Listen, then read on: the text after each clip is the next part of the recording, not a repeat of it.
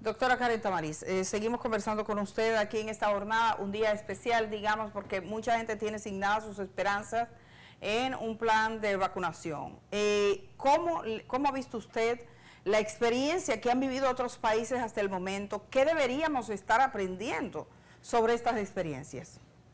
Que hay que tener un orden, hay que tener conocimiento y hay que tener sobre todo una comunicación efectiva a la población porque son momentos donde la población se siente eh, carente de, que le aporten cosas que le eduquen para su cuidado y su protección en salud. Exacerbar a una población no es lo prudente. Yo pienso que el logro de, otras, de otros sistemas de salud que nos llevan décadas de desarrollo a nosotros, se ha fundamentado en la trazabilidad correcta, respetando los actores del sistema de salud. Yo no he visto ningún farmacéutico en ninguna de las, de ninguna de las reuniones que se ha hecho con el gabinete de salud. No he visto a los farmacéuticos, o sea, no han convocado al sector farmacéutico, a los profesionales que tienen que ver, que son los custodias de la trazabilidad, no solamente de la vacuna, de cualquier medicamento, porque hay que establecer el control desde, como dice la presidenta del Gabinete Social, nuestra vicepresidenta de la República, que desde que sale del laboratorio fabricante hasta el puerto, hasta que llegue al centro asistencial donde se va a aplicar la vacuna, tiene que ser custodiada. Pero esa custodia tiene que estar con un experto del área, que es el farmacéutico, y no veo el farmacéutico involucrado en esto.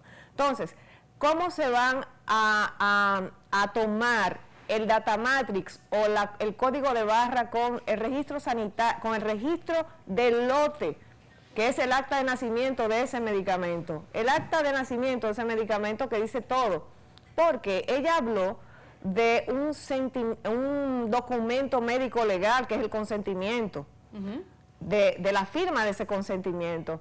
Eh, yo no sé qué dice ese documento, pero me imagino que va por los efectos adversos que pudiera provocar la vacuna, que cabe resaltar que España, que es el país que mejor tiene el sistema de farmacovigilancia, que es el cuarto estudio de evaluación de medicamentos, la cuarta fase, donde se analiza qué hace el medicamento en, después de ser otorgado su registro sanitario, post comercialización, y esto entonces hay una trazabilidad completa para vigilar eso, que a eso usted se refería, de los 30 minutos o 15 minutos que tiene que tener el, ciudadano, el paciente o el usuario al, ser aplicar, al aplicársele la vacuna.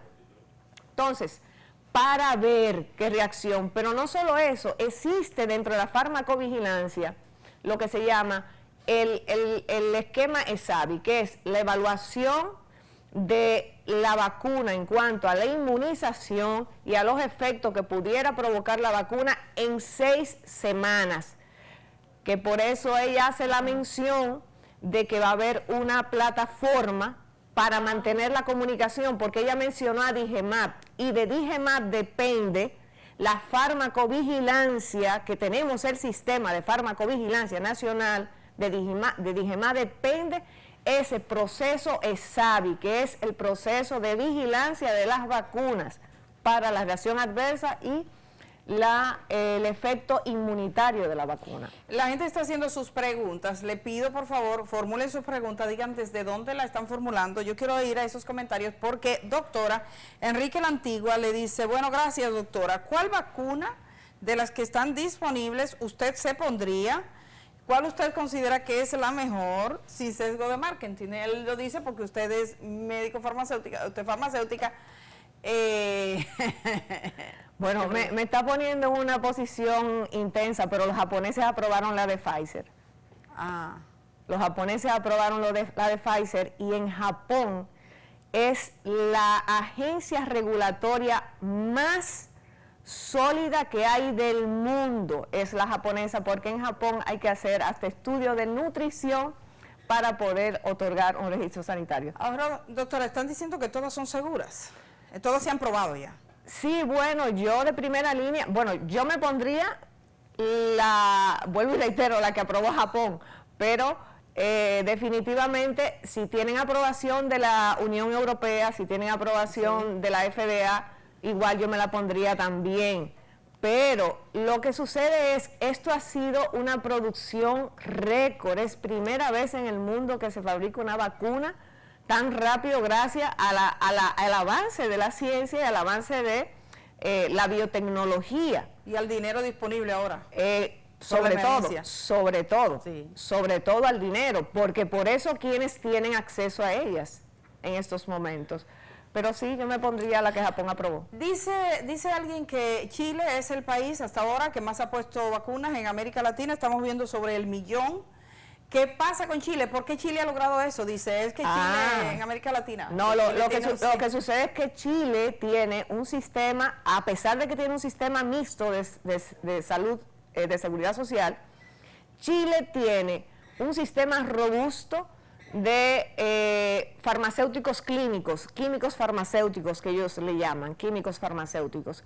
Y en cada centro asistencial existe la unidad de farmacia clínica. En nuestro país eso inició en los años 90 con la doctora Modesta Jorge, pero como en nuestro país eh, las cosas técnicas es dependiendo de quién surja, si no, y no dependiendo del valor técnico y de lo que pueda aportar a la población. Entonces, por eso yo digo que el desconocimiento nos sale muy caro. Alguien pregunta, si yo decido eh, no ponerme la vacuna, ¿cuáles serían las consecuencias? Ninguna tiene todo el riesgo. Dice, pues la vacuna no me garantiza que no me va a dar de nuevo. Lo que garantiza ciertamente, doctora, se ha dicho, es que no te dé eh, con una intensidad como le ha dado a algunas personas, que la puede llevar a intensivos. Sí, pero fíjese una cosa, esto todo está en estudio. Todo está en estudio porque es algo nuevo. Eh, fíjese que los países desarrollados están con su proceso de farmacovigilancia, que es lo que determina cuáles son las frecuencias de las reacciones adversas y cuáles reacciones adversas y los efectos secundarios, que son dos cosas diferentes. Pero, pero, eh, en realidad, uno lo que tiene que tratar es de mantener la mejor vacuna que tenemos hasta el momento, la mascarilla, el distanciamiento físico, la higiene de manos porque no sabemos la respuesta inmunológica que podamos tener nosotros los dominicanos, que tenemos una raza genética muy mezclada, que tenemos una nutrición totalmente diferente a la de otros países, que comemos lo que no nos rodea, y eso eh, puede ser que impacte de una forma u otra en la efectividad. No estoy diciendo que sea, pero pudiera ser, porque existe lo que se llama la farmacogenómica y la epigenética y la genética. Entonces, eh, son cosas, son criterios que uno tiene que tener claro, pero cada quien tiene la decisión de, de, ser un ciudadano responsable con la salud de los demás, porque cuando tú te contagias, tú contagias a otras personas también. Y hay personas que sabiendo que están contagiados, se mantienen eh, eh, como si no pasa nada, personas que no cumplen con, la normativa. Senia Tejada Gómez eh, dice, muy buenos días, doctora, ¿es contraproducente vacunarse más de dos veces? O sea, bueno. Es que no, está descrito, usted, vamos a ver, la diferencia entre un veneno y un medicamento es la dosis. Si a usted le establecen que la dosis correcta para mantener un, el sistema inmunitario es dos dosis, ¿por qué tener más? Entonces, muy no. linda frase, ¿oyeron eso? La diferencia entre un veneno, pues eh, claro que eh, determinado veneno, porque si es trepacito siempre será veneno, pero en un medicamento y que se convierte en veneno puede ser la dosis. Claro, si usted tiene un jarabe para la gripe, usted no se bebe el pote entero. Usted se bebe una cucharada cada 24 horas, como le dijeron, y siempre se insiste en la cantidad, porque hay gente que piensa que las cantidades la puede variar. Yo debo hacer una pausa, doctora, en este momento. Yo sé que hay gente preguntándonos, le vamos a preguntar a la doctora eso, pero además quisiéramos ver brevemente algo de lo que dijo el presidente de la República sobre la gestión de esta crisis.